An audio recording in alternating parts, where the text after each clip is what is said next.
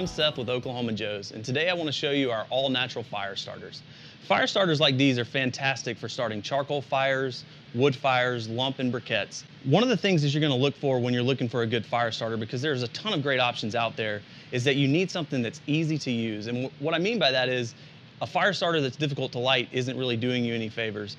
So you want to look for a fire starter that's very easy to light under all conditions. That means windy conditions, wet conditions, super hot, super cold, whatever it may be, it needs to light right up just like a candle.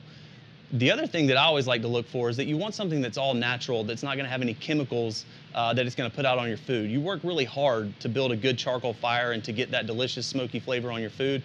You don't want to ruin that with a bunch of chemicals that are going to make the smoke different, put out that kind of pungent white smoke, or change the flavor of anything at all. So what you want to look for is an all natural starter and one that's easy to light in all conditions. The Oklahoma Joe's fire starters do both of those things. They are basically a tumbleweed. They're made by thin wood strips that are rolled together just like a tumbleweed and they're held together with just a tad of all natural vegetable wax. The wax helps a ton because that means that these can get wet. So if you leave these outside, the box gets rained on and they're wet, they'll still light right up, just like a candle.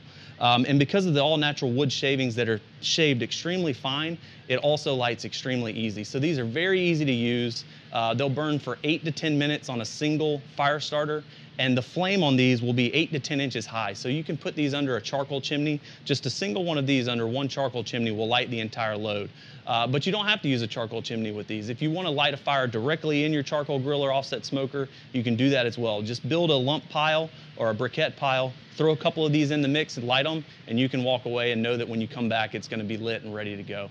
These are also uh, really good for campfires and starting full wood fires. So if you're going to use an offset smoker and you want to do strictly like a stick burner and use nothing but wood, these will do that as well. Treat it just like a campfire, set it up, but instead of putting a log or newspaper underneath, just put a couple of these and the flame burns high enough and it burns long enough that it'll fully light those logs and get you cooking in no time please subscribe to our YouTube channel. We're going to do a couple additional videos that show you how to use these fire starters, as well as some additional accessories that they pair very well with. Thanks for watching today. I hope this was useful, and we'll catch you next time.